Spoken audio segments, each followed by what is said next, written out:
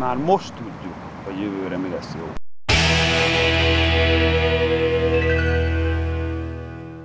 Üdvözöljük kedves olvasóinkat! Itt vagyunk uh, Liechtensteinben, Budapesten, a Városmajorban. Nagyon híres hely, mert innen fogjuk megmondani, hogy jövőre mik lesznek az érdekes programok. Ne értsenek félre, ez tényleg így van. Épp most örvendeztünk nagy-nagy hévvel az olimpiai csapat remek szereplésének, úgyhogy ezért mi már előre mondjuk, hogy jövőre áprilisban rendezik meg szabolcs már Bereg megyei Kazanyban, Oroszországban az Európai Tornász világbajnokságot. 女の子らしい選手が多かったと思うんですけどもそしてこの平均台が伝統的に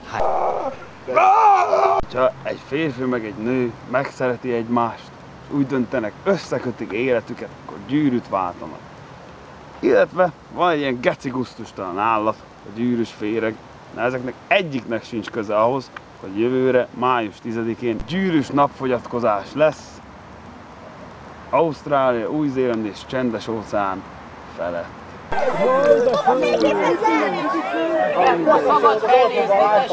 Szintén 2013-ban lesz a birkózó világbajnokság.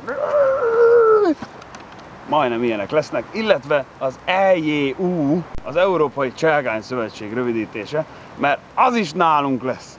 Sőt, valószínűleg minden nálunk lesz. Úgyhogy az Európai Cselgány Szövetség itt ad helyt Budapesten a az Európa világbajnokságnak annak. Jövőre Horvátország csatlakozik az EU-hoz, ami annyi különbség lesz, hogy nem Kunáért vehetünk tintahalat, hanem Olyróért.